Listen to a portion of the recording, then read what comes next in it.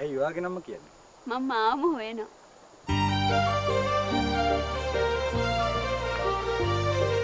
මට ඒ වගේ වැඩක් නෑ තේනුක. ඔයාව හොටෙල් ප්‍රොජෙක්ට් එක නවත්තනවද නැද්ද කියලා විතරක් කියන්න. ඔයා හරියට කතා කරන්න නිකන් මම ඒක නොකළොත් මාව අතාරනවා වගේ. ඇයි? අපිට වෙන වෙන්න බැරි තරම් දෙයක් වෙලා නෑනේ. ධම්මගවී ශීමියෝ නැති වුණත් හරි මේ කැලේ හොරු දඩයක් කාරයෝ හෝටල් කාරයෝ පිරිලා මට නම් හිතෙන්නේ මේ මනහර මිස් වැදගෙන යන්නේ වෙන කවුරු නෙමෙයි. අදීශ.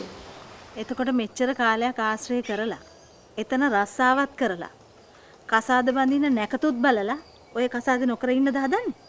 හා? ආගමක් දහමක් නොදන්න මිනිහෙක් මට වැඩක් නෑ අම්මේ. තාත්තා අම්මවත් අරගෙන ඉක්මනට නිව්සීලන්ත යන්න. මට මං ගැන බලා ගන්න පුළුවන්.